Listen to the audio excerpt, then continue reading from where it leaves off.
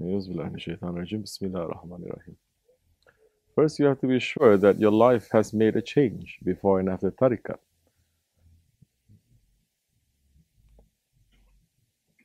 Why are you going to enter into tariqat? Why are you going to take bayat if you're not going to change your life? Especially this tariqat, tariqat al aliyah. This Jamaat, the Osmanli Naqshbandi, is not a game.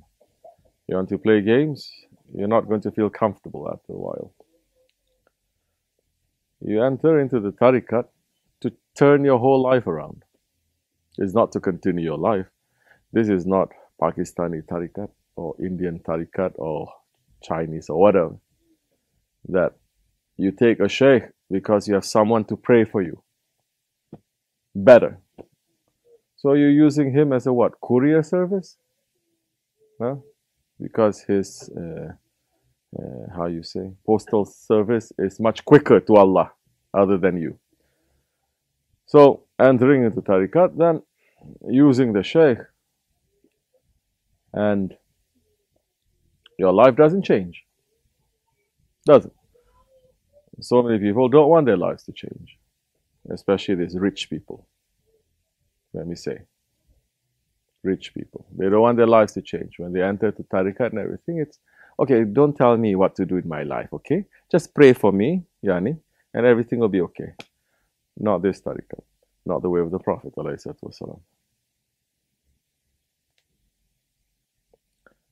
So you don't see too many rich people around here.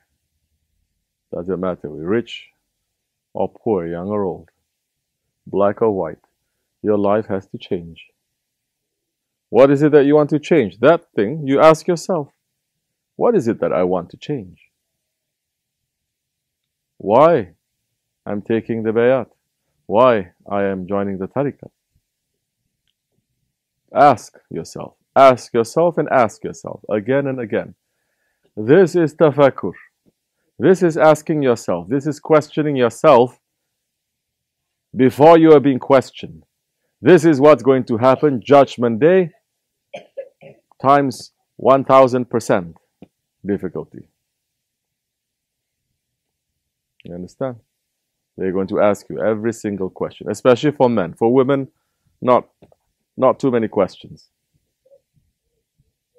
For men, there is. You have a sheikh. Why do you want to have a sheikh? Because I want blessings. No. Then your level is very low. I want my prayers to be answered. Then your level is still very low. Because this is the tariqat of the Sahabis. I'm not saying this. Imam Rabbani is saying this. They changed their whole lives. And their lives, judging by worldly standards, their life did not get better after they gave the Shahadat. Did their lives get better? Did they live in palaces? Did everything work for them? Nice job, nice house, nice children, everything was nice? No, it didn't. Correct or not? It got worse. More oppression, more persecution, more sacrifice, more. But they were living in paradise because they were with that one who is the owner of paradise. And when they took the Shahadat, it wasn't also for so many people taking the Shahadat, personal salvation. To borrow from Christian word. I don't like to borrow from Christian words. Islam is 1400 years old. We have enough words to use. Now I see Imams there giving the khutbah talking about grace. There is no word Islam from Arabic, Farsi, strong, I'm talking about strong Eastern uh, languages, Ottoman Turkish, that is taken from East and West, from both the Slavic and the Latin languages, and Arabic and Persian, and then mixing it up to become something that is so sophisticated. You have to use the word grace.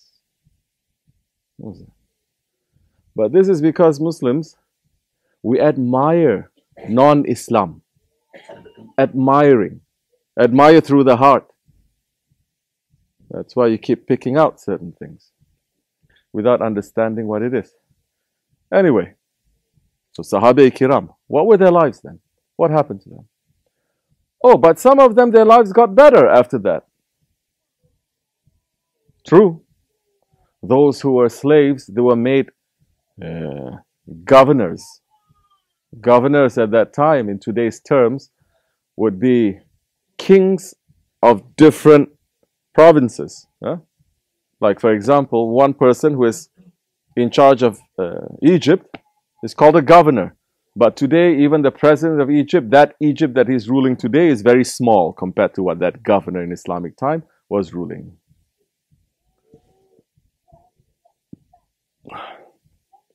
Yet, the most high level ones, and majority of them, even when the whole world was open to them, they prefer the prophetic lifestyle. Simple. Yeah. Hazrati Bilal he married into royal family. So what, what is it that they discovered with the Holy Prophet والسلام, that the world became tasteless to them? Yet that yes, they can wear, but it's not in their heart. As Hazrat Abdul Qadir Gilani Qadasal Sir, one jubba that he's wearing is worth palaces. Worth palaces. It was so expensive. But he was a fakir. What is it that they found? They found what they were looking for. What were they looking for? Riches? No. What were they looking for? They were looking for Allah and they found it through the Holy Prophet. They cannot admire anything else. What does it mean? You have found Allah. What does it mean to find Allah? Allah is an idol and you find him? Uh, okay, you found him according to your own understanding of finding. Then what? Then what? Oh, then I enjoy my life. Then life goes on. No, you didn't find Allah. You did not find Allah. You're looking for the Holy Prophet, Allah said to us. You found him, and then what? Look, you don't have to look too far. Look at the Sahaba Kiram. They found. Look at Hazrat Abu Bakr Siddiq. He found the Holy Prophet. والسلام. Then what did he do? That is the peer of our tariqat. What did he do? His journey began. And what is that journey? That journey is every day he's suffering. And when they beat him up so severely, when he gained consciousness, he says, How is the Prophet? That journey is understanding whom the Prophet loved and who did the Prophet love? This is a sticking point also. He's loving his family. Of course, everyone loves the family, but was he ever putting his family, other than a few hadiths that he's saying, This is my family? Is he putting his family always above everything else? No. Who does he put above? The ummah. But who among the ummah he puts on top? Always. The women, the poor, the orphans. Those one and when we talk about women, is not today's understanding of women's rights. You understand? He's talking about those women that they have no one to protect them, no one to support them, no one to help them. And there are women like that today. He's looking to the ones who are yatim, the ones who are mazlum. They understood. So, what did they understand when they found the Prophet? They understood what he was living for. It's not what they were living for. It's not what they want when they are looking for salvation. It's not about them anymore. They found the beloved. Now it's about that beloved. What is it that you want? Help the sick, help the poor, everything for them. Everything for them. Ya Abu Bakr, you didn't leave anything for yourself. It's just Allah and His Prophet. I left to my wife and to my children. Meaning what? When you give everything, especially in the Siddiqui way, Siddiqul Akbar way, when you give everything, and it's not just material, it doesn't mean material, eh? it means your heart. Whatever you attach to. You give, what do you get? What do you inherit? Allah and His Prophet.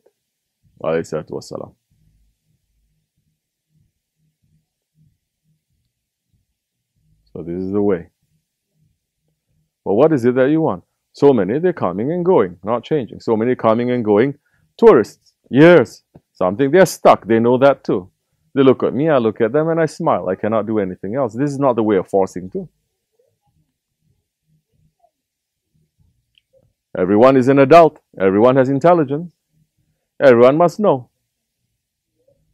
It's like you're following a sultan. If the kids are making too much noise for the duration of the sohbat, bring them out if they're distracting.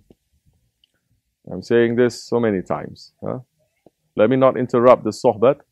They are not going to be happy with you.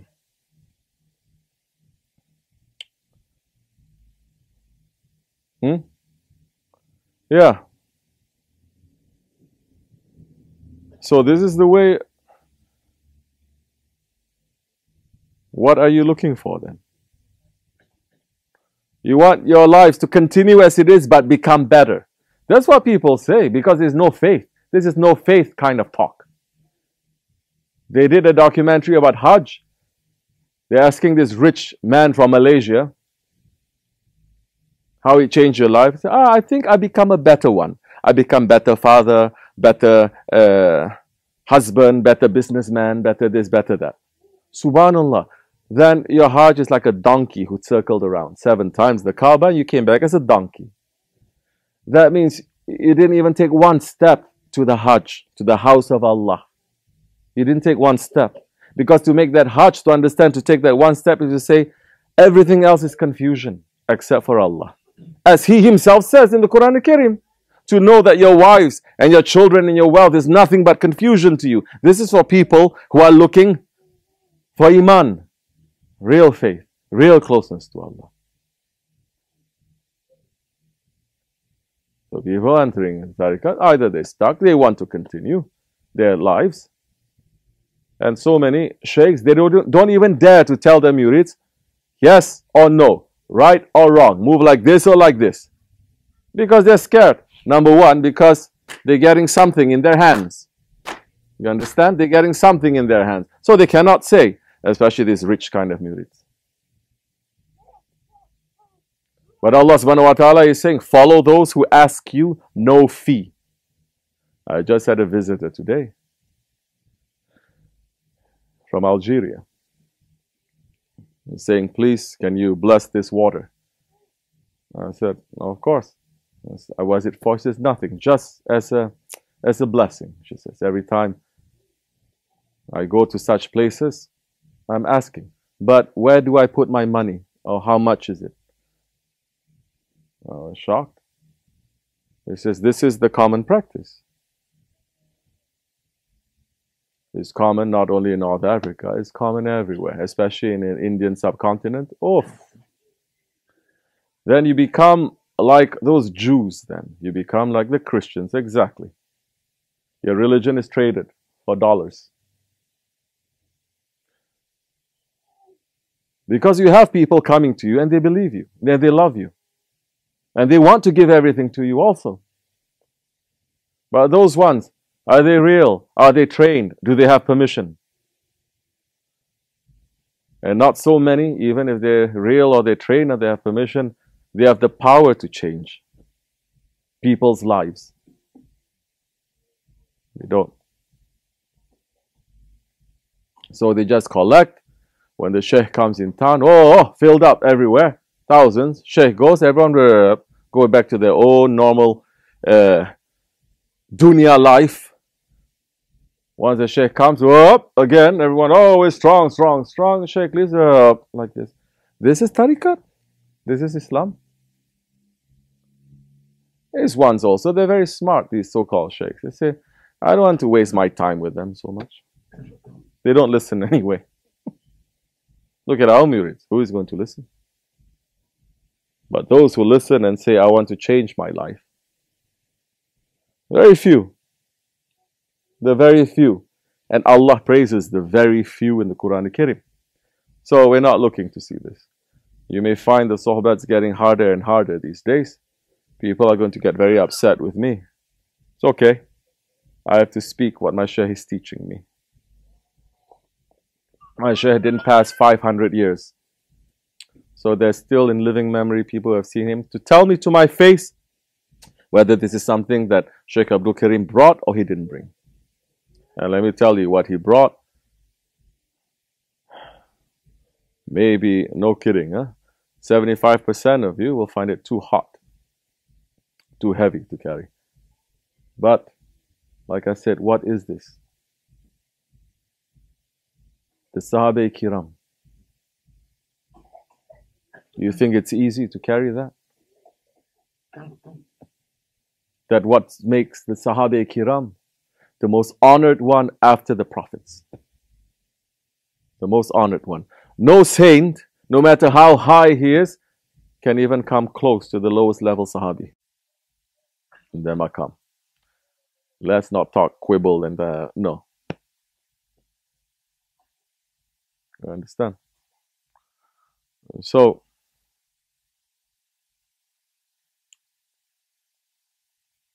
your life must change.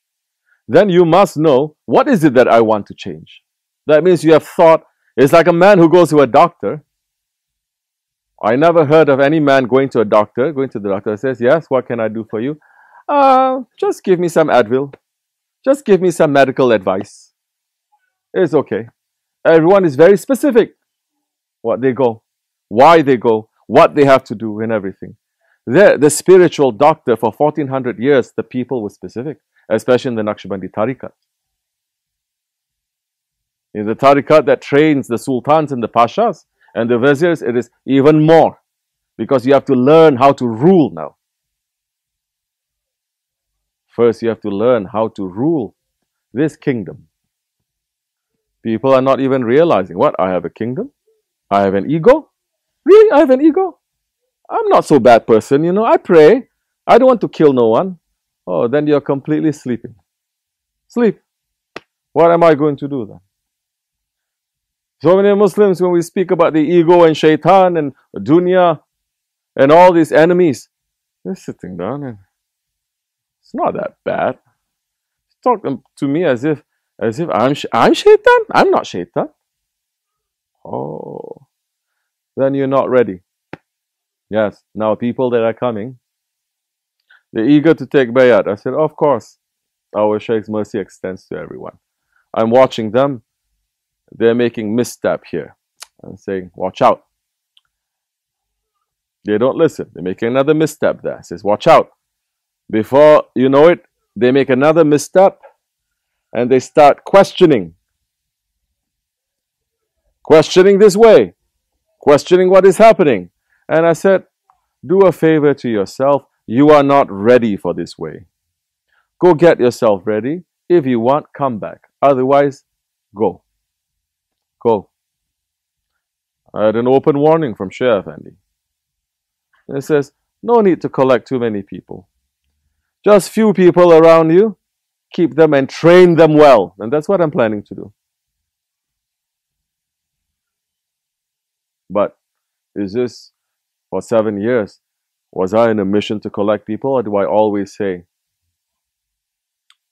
I wish there were fewer people? I wish there were, every time I come to Passaic, I'm saying, I wish there were fewer people because the sohbat then, it is completely different.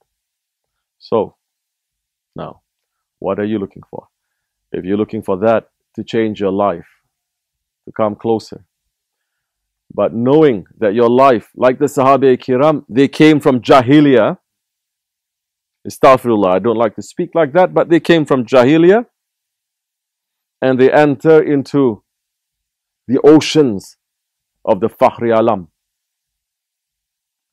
So, you meet a sheikh in this way. What is your Jahiliyyah? Or do you admit that you have a jahiliyyah? Do you admit that you are burying daughters in the hot sand? Do you admit that you are killing? Do you admit that you were in complete ghaflat to your Lord and to His orders? Do you know that? You know that. Did you want to change? Yes, I want to change. Did you change?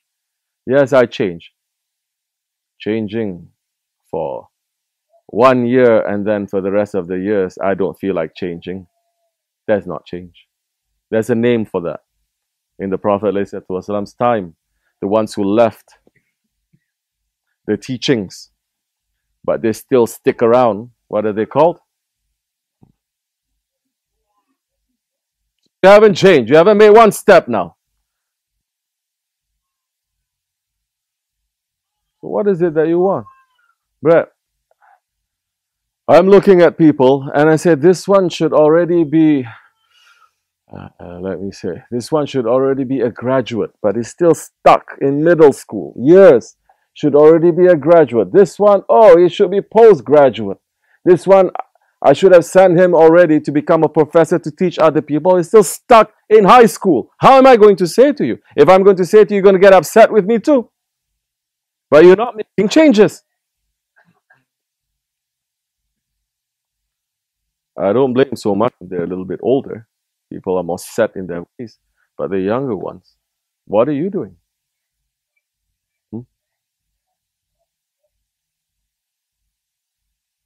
Some coming here once a week in the presence.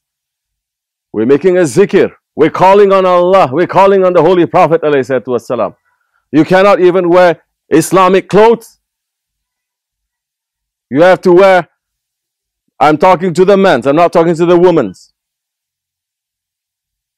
You have to wear all your tight jeans to show everything. You want me to say more? You you're going to get upset with me. But this is something our share would say every week. Newcomers would come in and says, you, what are you doing, huh? You wearing t-shirt? He says, you idiot. Don't you know even to expose your hands it is makruh for men? What are you doing? You're wearing a hoodie with the Yahudi words over your heart. Uh, what is what is it? Just go for it. What? Just do it over your heart. You're supposed to put the name of Allah over your heart.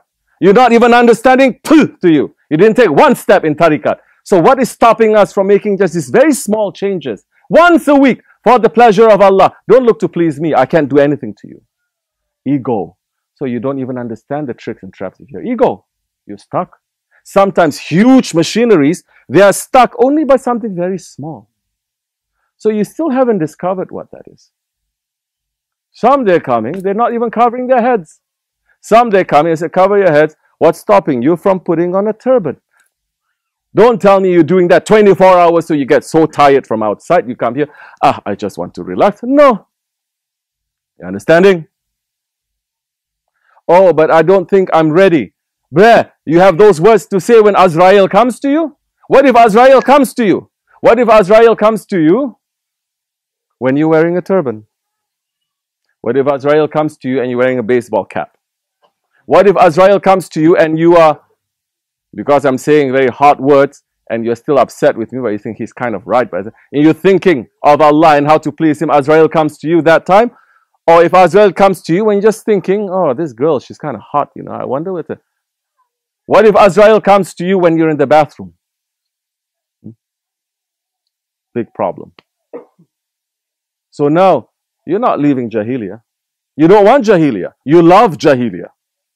You want Jahiliyyah and you want a little bit of Akhirat.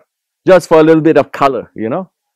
Just like uh, Pakistani food. You have this and you put some spices on top.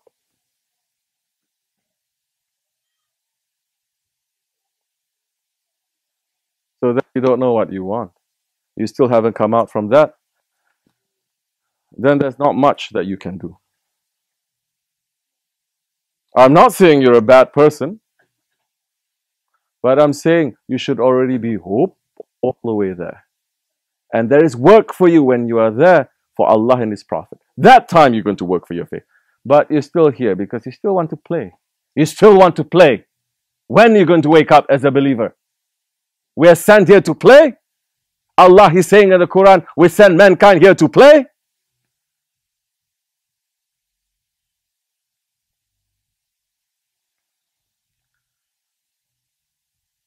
Some play. Some play basketball. Some play cricket. Some play grasshopper. Some play cockroach. But nonsense kind. something must strike your life. You say, there is a major shift, there is a sea change.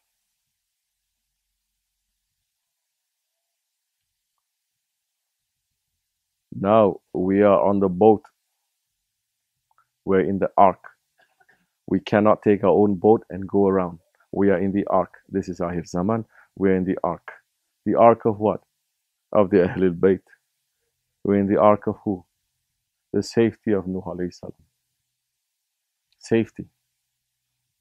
Now it's not even about maqams or stations, it's about safety. But not too many there, listen. What can we do?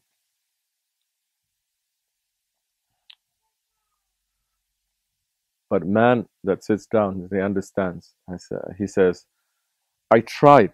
I tried to live in this life. It's not bringing me any peace. It's not bringing me any fulfillment. I tried to lead myself. I tried to say, I'm the guide of my own life. I know how to read and write, and I'm going to look and I'm going to understand. I'm going to take, I'm going to filter by myself. The one who is sincere, sincerely looking, Allah will send him to the highest place. He says, Now you are understanding, you are ready for a guide. Not just someone to say Amin to you, not just someone to lead you in prayer, not just someone to give you some nice life uh, advice a little bit here and there. Now you are ready to follow, just as Sahabi follows the Holy Prophet. Oh, that time, yes, you may enter into the circles of the awliya. You may enter into the circles of the Nabis. What is their circle? It is not to see different colors and shape. No. Now you enter as a Sahabi Kiram did. You enter into their mission and what their work is. Why Allah sent them to the world.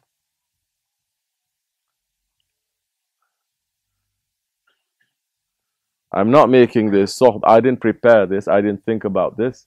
I'm taking what my Shaykh is sending me, and this is I'm not doing this because it's New Year. We have to make New Year resolution now to become better murids.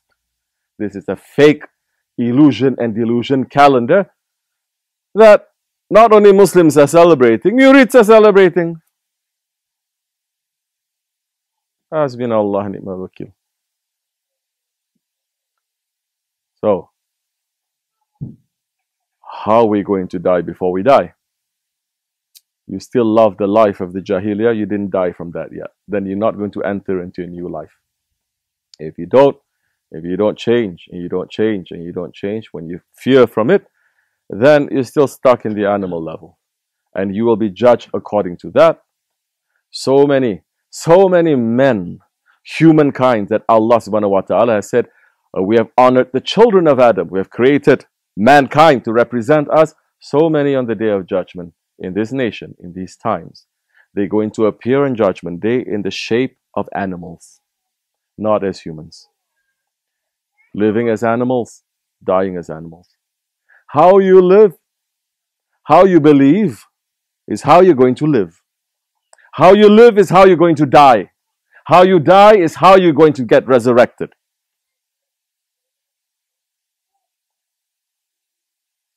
You think being a man, human, is working nine to five? Taking care of a couple of things? Enjoying yourself? Oh, praying five times a day like a thief. In and out, in and out. That is being the Khalifatullah. It's not even being a human. And your Lord never forgets you. Your Lord is not ignorant of you, and your Lord is not unmerciful and uncaring to you. And your Lord is looking into your heart every day. And your Lord is sad when He's not seeing Himself in your heart. Uh, people have become just that heartless. Heartless. That's why I'm telling the Ottomans when they even when they give ilahis, when the way that they describe Allah, Jan Allah, Janam Allah. You don't really see this in so many other languages.